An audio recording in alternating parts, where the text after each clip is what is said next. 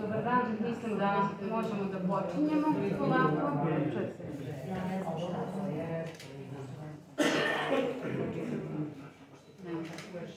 Dobar dan, hvala vam što ste došli na predstavljanje 16. dosijeja Fonda za humanitarno pravo, dosijeja Svetozar Andrić.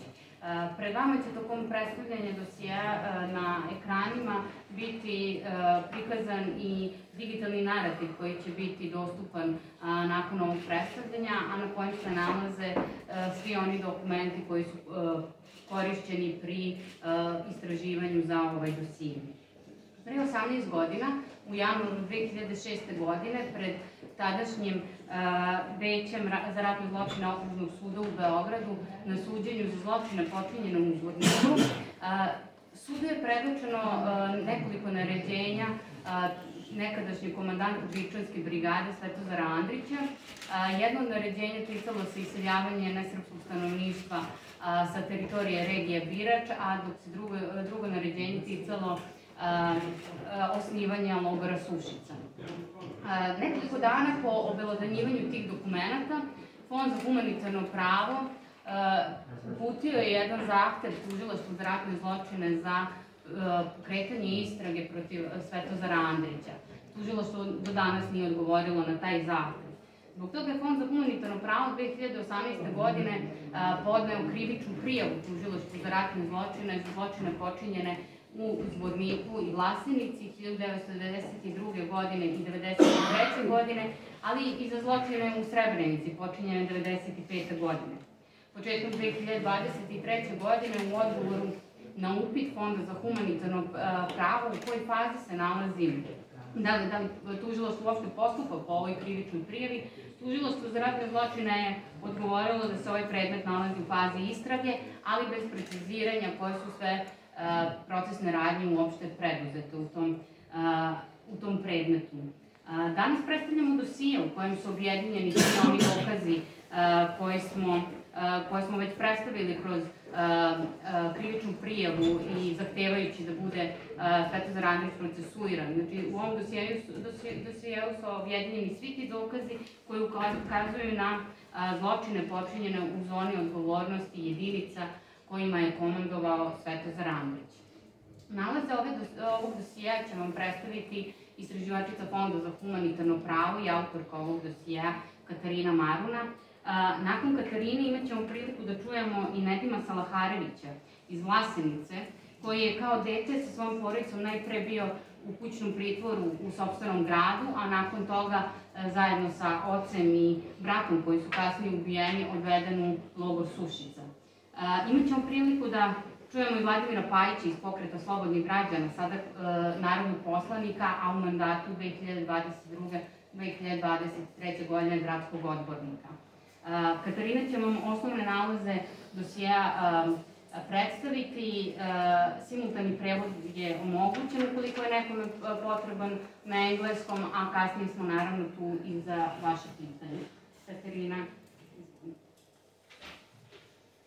Hvala Jovana, dobar dan i od mene. Uh, Svetozar Andrić je još kao uh, major uh, Jugoslovenske narodne armije učestvovao tokom 1991. godine u formiranju vojnih jedinica, na oružavanju i organizovanju srpskog stanovništva za oružane sukobe u Bosni i Hercegovini. Nakon formiranja Vojske Republike Srpske, kao što je Jovana već pomenula, Andrić je 19. maja 1992. godine imenovan na poziciju komandanta prve Bičanske pešadijske brigade.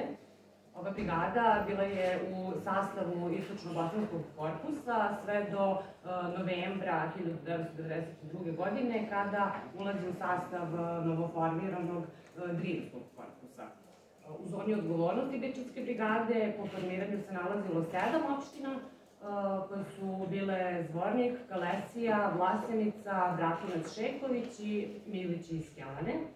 Brigada je brojala oko 12.000 pripadnika koji su bili raspoređeni u približno 10 bataljona, 15 odreda i druge manje jedinice.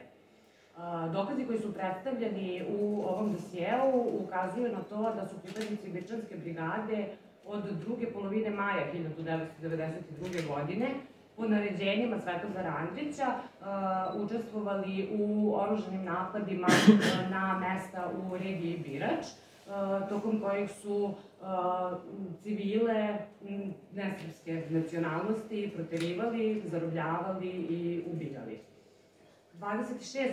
maja 1992. godine Svetozar Andrić je naredio prvom pešadijskom uh, bataljonu Osmaci da organizuje iseljavanje žena i dece iz opština u Kalesiji, kao i da muškarce zatvaraju u takozvane sabirne centre.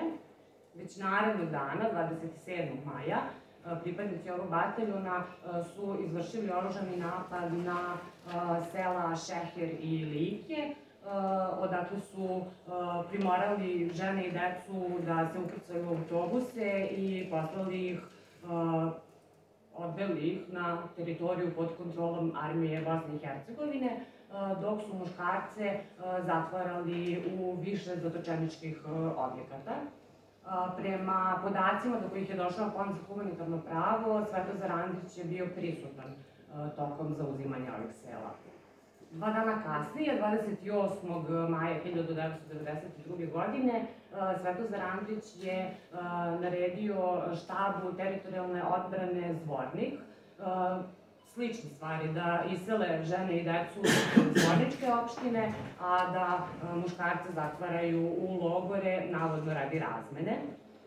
Istog dana pripadnici teritorijalne odbrane Zvornik okupili su meštane Deviča, njih oko 400 do 500, Uh, razdvojili su muškarce od žena i dece.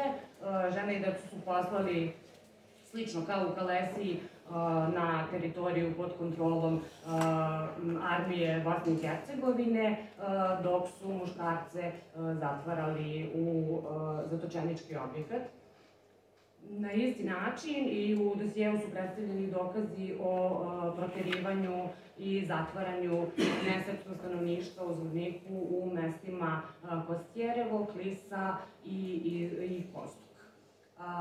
Po ovom naređenju Svetozara Andrića od 28. maja uh, iz Zvornika je proterano najmanje 7000 stanovnika koji su bili mahom žene i deca.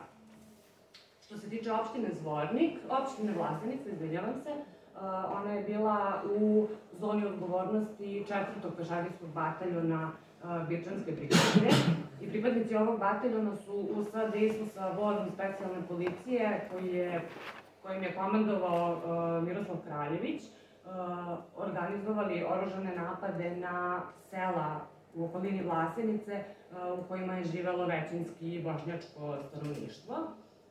U dosijevu je dokumentovan jedan od tih napada, to je napad na vlasničko selo Drum, gde su snage srpske vojske i policije ubile najmanje 20 muškaraca, među kojima je bio i jedan maloletnik.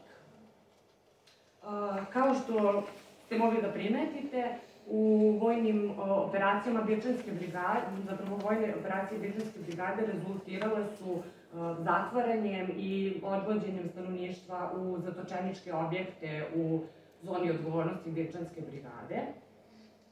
Andrić je ove objekte u više navrata posjećivao. On je znao da je zatočenja i e, postupke stražara prema e, zatočenicima e, i takođe je nadređenu komandu redovno izveštavao o broju zatočenika u ovim objektima.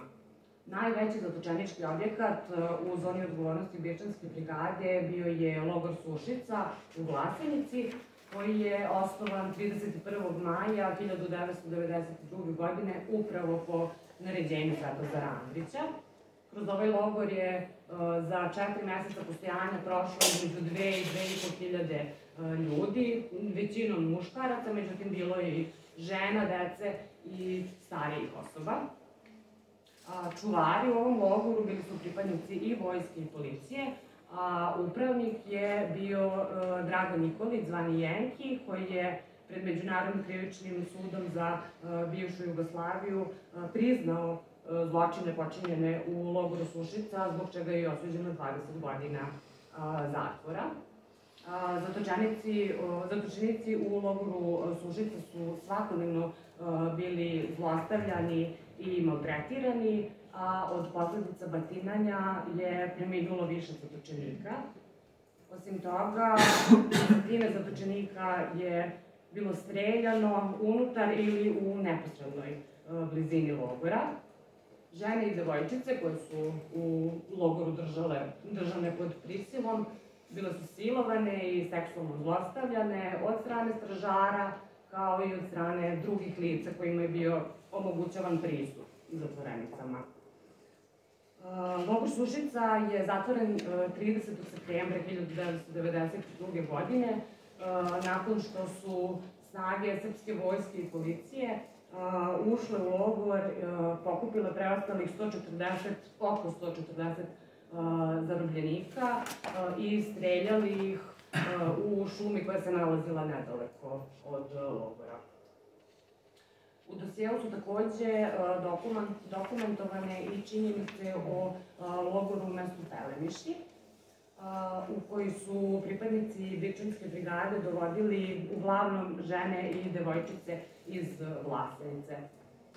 Prema svedočenjima i izveštajima međunarodnih organizacija. U ovom logoru su uh, žene i devojčice bile silovane, uh, dok je pod još uvek nepoznatim okolnostima uh, u logoru ubijeno najmanje 28 osoba, od čega je čak 12 bilo maloletno u trenutku smrti. Ovim logorom uh, je, zapravo, logor su kontrolisali pripadnici Srpske čak i Pelemiši, koja je bila pod, uh, u sastavu drugog pešadijskog bataljona Grčanske brigade pod komandom Milorada Pelemiša. Poslednji deo dosijeja uh, bavi se uh, ulogom Svetozara Andrića u, i jedinica kojima je on komandovao u genocidu u Srebrenici. Andrić je u vojnim operacijama koje su dovele do zauzimanja Srebrenice učestvovao kao predvodnik borbene grupe Birčanske brigade. Nakon toga, 13. jula, znači nakon zauzimanja Srebrenice, 13. jula 1995. godine Svetozar Andrić preuzima e, dužnost e, načelnika štaba i zamenika komadanta Drinskog korpusa, dakle u trenutku kada srpske snage već uh, sprovode uh, masovna streljanja muškaraca i dečaka iz uh, Srebrenice. Svetko Sarandić je na mesto načelnika štaba i zamenika komandanta Drinskog korpusa zamenio Radislava Krstića, koji je postao komandant Drinskog korpusa, potpuno istim uredbama kao i Andrić. U više presuda Međunarodnog krivičnog suda za bivšu Jugoslaviju utvrđeno je da su pripadnici Drinskog korpusa učestvovali u gotovo svim masovnim egzekucijama muškaraca iz Srebrenice. Osim toga, utvrđeno je da su materijalni resursi i ljudstvo Drinskog korpusa korišćeni prilikom pokopavanja posmrtnih ostataka žrtava u masovne grobnice, kao i kasnije u septembru i oktobru 1995. godine tokom operacija prikrivanja ovih zločina, kada su ponovno pokupavali posmrtne ostatke u sekundarne i tercijarne grobnice. Za genocid i pomaganje ili pomaganje i podržavanje genocida je pred Međunarodnim krivičnim sudom za bivšu Jugoslaviju osuđeno osam oficira Drinskog korpusa. Među njima je i general Krstić, kao i komadanti Zvorničke i Bratunačke brigade.